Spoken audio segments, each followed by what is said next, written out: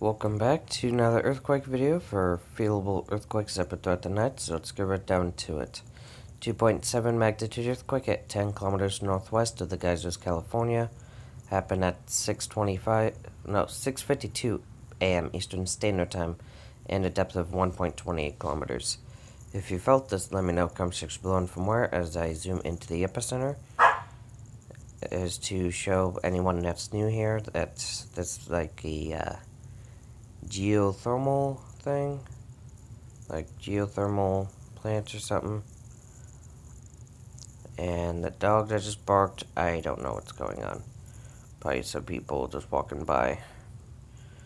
Um, so there's some roads here. There's these like dirt pads, like some oil related things. So could be fracking induced, but then again, this is California, so it could just be a fault line that's going bonkers, but so Lakeview Road, Coldwater Creek Road. So yeah. With that, and there's a place here called Black Oaks, Flood Road. Yeah. So with that, just going to clear out these notifications.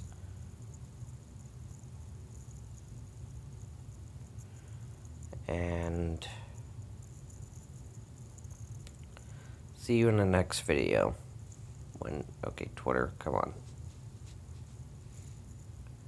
So see you in the next video. Bye